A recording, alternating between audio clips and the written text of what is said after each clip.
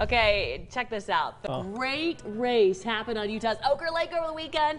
You are looking at humongous pumpkin regatta. Dozens of giant pumpkins carved out into boats set sail racing to the finish line. I cannot imagine. that little okay. guy. Well, these pumpkins weigh in at hundreds, even thousands of pounds, pounds each. Aside from the pumpkin race, the whole day was filled with harvest festival big one. activities, including a petting zoo, pie eating contest, crafts, and food trucks. I know that clearly they're floating, but I would be so nervous that I would just do the wrong over. row Well, and, flip. do you know how much time and energy went into growing those things? And carving that yeah, whole someone thing. spent a lot of time making sure that that was growing in their backyard, and then they just used it as a And they did it at the nicest part of the day. See, before the rain came in, they did it in the morning. true.